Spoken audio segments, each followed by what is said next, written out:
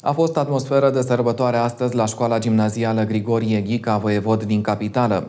S-au împlinit 70 de ani de când a fost fondată unitatea de învățământ. Cu acest prilej, elevii au îmbrăcat costume populare vechi de peste 50 de ani. Au participat la ateliere de creație, la concursuri literare, au cântat și s-au prins în horă. Nu au uitat să facă nici fapte bune. Cu sprijinul adulților au colectat tone de alimente neperisabile, haine și jucării pentru copiii de la Valea Plopului. Foaie verdea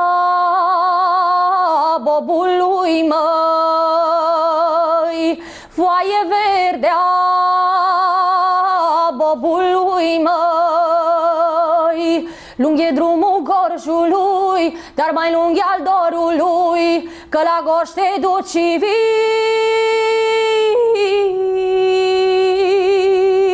Dorul n-are căpătâi. Elevii de la școala gimnazială Grigorie Ghica Voievod din București au scos din lăzile bunicilor costumele populare și le-au prezentat în fața profesorilor la concursul Cel mai frumos sport tradițional. Mândri că promovează tradiția și straiele populare, copiii au avut prilejul să îmbrace costume lucrate manual chiar de bunicii lor. Acest costum este vechi de 30 de ani și l-am de la mama mea. Am venit să prezint acest costum deoarece uh, și mama mea, când era de vârsta mea, a prezentat și acest costum. Și am zis să-i arăt că pot și eu și poate să și câștig. Acest costum uh, mi l-a făcut străbunica mea și bunica mea și are cam vârsta de 80 de ani. Și mi l-a dat mie moștenire ca să-mi amintească de ea cât a durat uh, să facă bunica ta acest uh, costum și spui că e vechi de 80 de ani, cum l-a păstrat? Păi, i-a trebuit cam o săptămână numai pentru vestă și nu știu exact cum l-a păstrat, dar uh, văd că arată încă aproape intact și mi-a plăcut foarte mult costumul. Faptul că bunica mea mă iubește și vrea să transmit mai departe tradiția portului românesc. Eu nu am mai purtat, dar n-am mai purtat uh, port întreg și a fost o șansă de a arăta că am și eu, adică să pot să port și au purtat mama și bunica mea. Vremurile se schimbă și se pierd tradițiile. Dacă un copil nu mai vrea să respecte tradiția, atunci ele se vor pierde. Chiar dacă nu zilnic, ar trebui să încercăm și noi să mai purtăm. M-am îmbrăcat în port popular deoarece sunt mândră de portul popular românesc.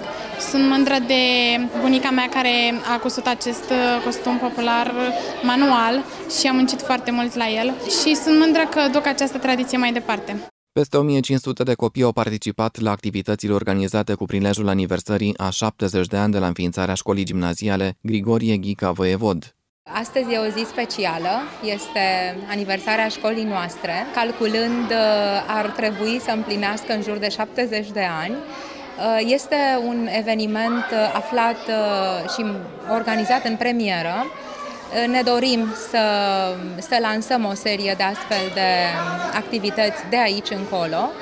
Totodată, în școală s-a derulat uh, un proiect uh, intitulat Toamna Voievodală. Prin urmare, am considerat că este de bun augur să împletim trecutul cu prezentul, așa încât i-am chemat pe copiii noștri în costum național. Evenimentul a avut și scop caritabil. Foarte multe alimente, rechizite și jucării au fost strânse astăzi pentru copiii de la Valea Plopului. Duminică, profesori și elevi vor merge să le facă o bucurie copiilor pe care îi ajută părintele Nicolae Tănase. În cadrul acestui proiect Toamna Voievodală, tema este caritabilă. Ne-am organizat uh, în parteneriat cu Biserica pentru a veni în ajutorul copiilor fără părinți. Este vorba de copii din Valea Plopului, care au adunat jucării, le-au uh, pus deoparte hrană și hăinuțe pe care ei le-au păstrat cu grijă, dar care uh, le-au rămas uh, micuțe. Și duminică mergem la ei să le strângă mâna și să le transmită empatia lor, dragostea lor. Profesorii au pregătit activități care au avut loc pe tot parcursul zilei și cu toate că a fost vineri, au participat toți copiii.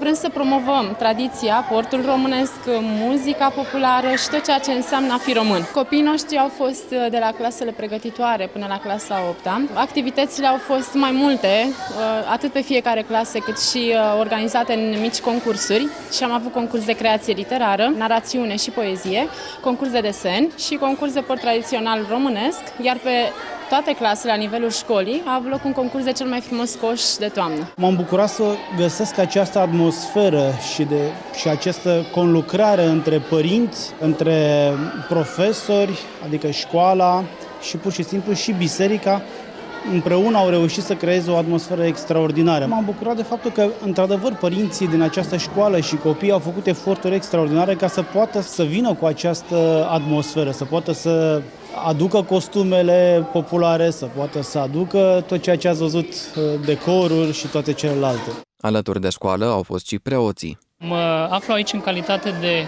colaborator, în sensul că uh, parohia noastră, Tăi Doamnei Ghica, are o foarte frumoasă și fructuoasă colaborare cu această școală. Această colaborare nu este dată numai de faptul că școala se află pe teritoriul parohiei noastre și de faptul că patronul acestei școli, domnitorul Grigore Patru Ghica Voievod, este și titlul bisericii noastre. Acest eveniment uh, s-a încheiat la biserica noastră cu un concert de muzică bisericească uh, cu cântări specifice postului nașterii Mântuitorului nostru Iisus Hristos, cântări patriotice și cântări uh, tradiționale, cântări populare cântate de un grup saltic și de cele două grupuri de copii, școala ale ciclului primar și ciclul gimnazial ale, ale acestei școli.